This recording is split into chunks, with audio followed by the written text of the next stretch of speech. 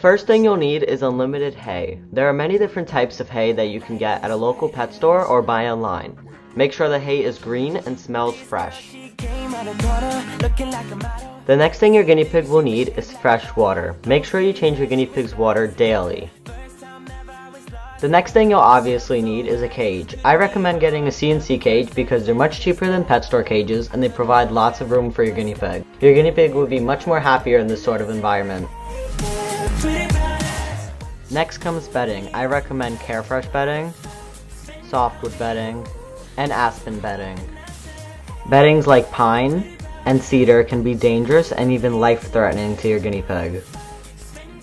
An alternative to using bedding is fleece.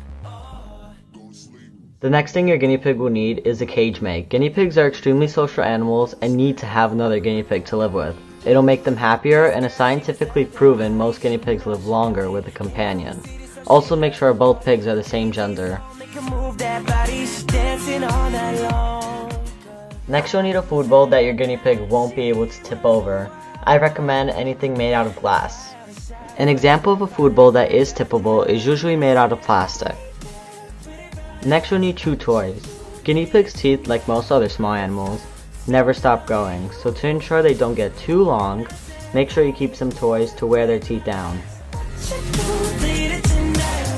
The next thing you need are guinea pig nail clippers. Guinea pig nail clippers are extremely important because guinea pig's nails, just like human nails, never stop growing. You will also need one cup of vegetables per day per pig. I recommend anything green such as romaine lettuce, or parsley. And the last thing you'll need are good quality guinea pig pellets. Make sure no colorful bits, seeds, or nuts are added to it. You got that smile, you got it all. I know I'm right, you think I'm dead wrong. You've got that face, you've got that laugh. I know you're shy.